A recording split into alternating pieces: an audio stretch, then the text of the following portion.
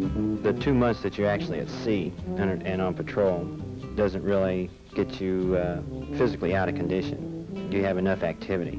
Ladders and uh, back and forth in compartments, stepping through the hatches. You know, you got to bend a lot of muscles to get down through a hatch.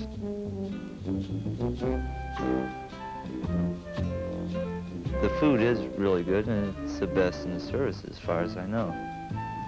And uh, nice thing is the fact that the captain has to eat out of the same kitchen as you. So when the bad food comes out, he gets it too. And then it comes right back to the cook. so, you know, everybody's happy about that.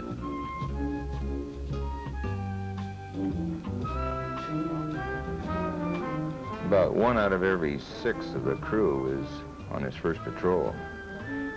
It takes about two patrols to pass your ship and watch station qualifications. But when you're finally done that and you got your dolphins, it's the greatest feeling in the world.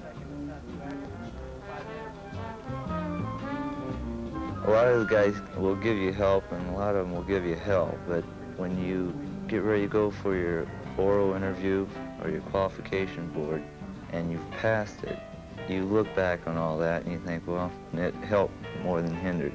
And I think uh, everybody in the boat really, you know, pushes people to get them qualified. MCC weapons power.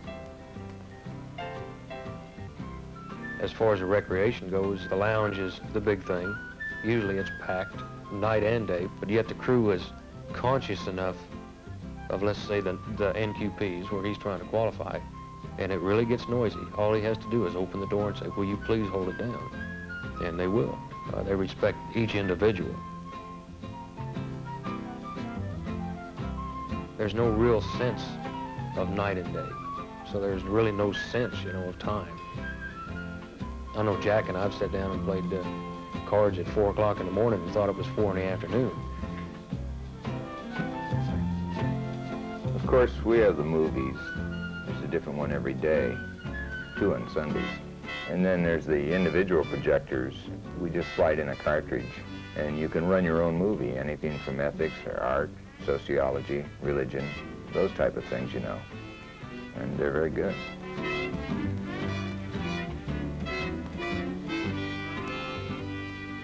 We get five family grams during the patrol, 15, 18-word messages from our families. Of course, we can't answer back, but they mean a lot. Is the captain speaking. Please send Wood to see me. Thank you. Sometimes a guy gets an extra, like a baby gram. Those come through the captain. That's when we all get cigars. And we bake 'em a cake, slap 'em on the back.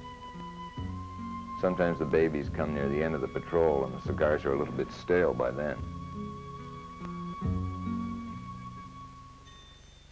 If I have to be at sea for 60 days, I prefer to be underwater. It's much smoother. Storms are very little trouble. You don't have to put up with any of the elements that you'd have to on a surface craft. And the habitability of a submarine is very good. Temperature 72 degrees, relative humidity 50%, constant. We keep recycling the air. It stays nice and clean.